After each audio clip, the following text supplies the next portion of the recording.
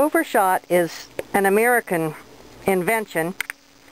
You can see the, the green, teal, and this is called the pattern thread.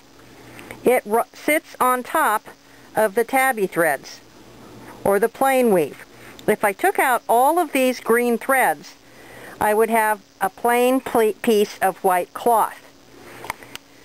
You can see here there are two pattern threads so that that particular harness was raised twice in succession.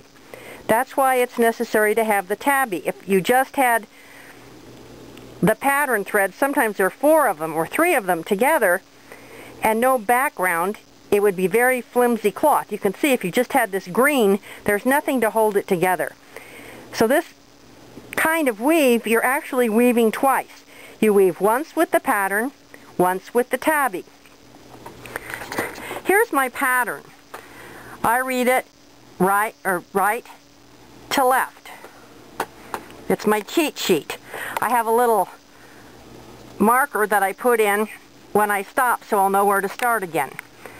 Here I'm on treadle number or treadle number three harness is raised two times. Then I go to harness number four and it's raised two times. Then I go back to harness three and it's raised two times. Then I go to harness two and it's raised two times.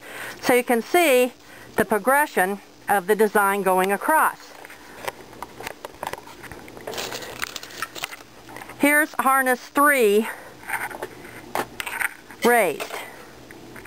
So I would raise harness three, throw the green pattern shuttle, then I would follow it with a tabby shot. Tabby is just plain weave, over, under, over, under.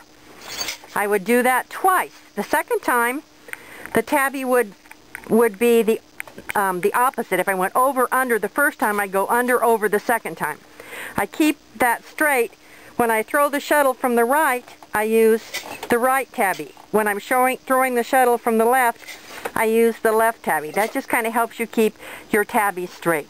So I'll weave through this design several times and then under here is my finishing sequence to make it come out even.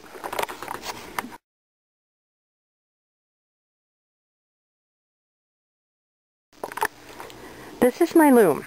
It's warped to weave a pattern called pine burr. Here's the pattern being woven. This is an overshot pattern. You can see there's a white background and kind of a teal pattern thread. I'll get to that later. This is a, a floor loom. It's made by Gilmore and it's operated by treadles. If I press a treadle, they're tied to the harnesses. That raises the harnesses which allows the shuttles to pass through the shed.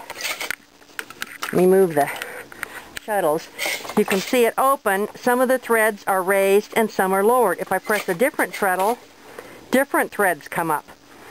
You can see they're uneven. This allows the pattern thread or the green thread to go across and shoot over the white threads causing a pattern.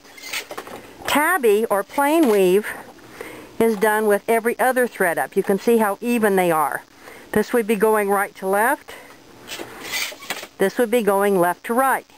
Here I've raised harness 2 and 4. Here I've raised harness 1 and 3. This just makes it easy for me to change um, the sheds and weave faster. On the, the harnesses are heddles. The heddles have eyes in them and the, the warp threads, these are the warp threads on the loom, go through the eyes of the heddles. The heddles are attached to the harnesses, and by raising a harness, you raise the different threads. That's how the patterns are made.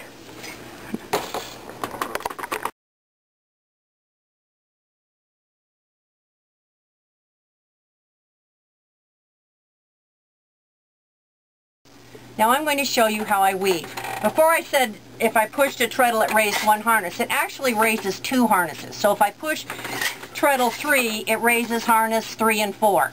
If I push treadle 4, it raises harness 4 and 1. I'm going to go on with my design and I'm going to raise harness number 4 twice. First, I'll throw the green pattern and I feed it in. This is followed by the white tabby. And this isn't, my bobbin is not unwinding. There. Now I have to do treadle 4 again. You can see how this is laying in the pattern. Now this will be followed by the opposite tabby. Back to treadle 3 and I do this twice. One pattern shot, one tabby shot. The second pattern shot,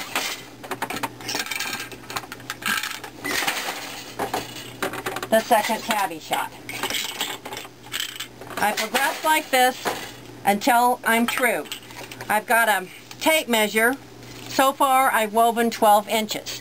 This blanket will be about 45 inches when it's finished. A lot of it will depend on exactly where the design comes out in the end. It could be 42 and it could be 47 inches. My loom is 32 inches wide, so it's warped at 32 inches. But with the draw in, it will probably finish about 28 to 30 inches.